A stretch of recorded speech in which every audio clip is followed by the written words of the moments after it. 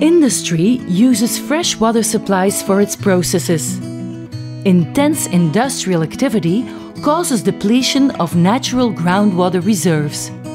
As a result, the industry has to look for alternative water sources, such as the reuse of industrial wastewater. However, the use of alternative water sources may have implications on installations as it may alter corrosion behavior.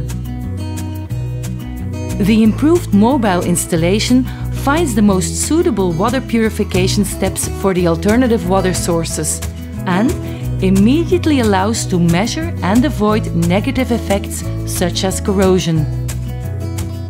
As a result, the water cycle is closed and the fresh water demand declines while maintaining process quality.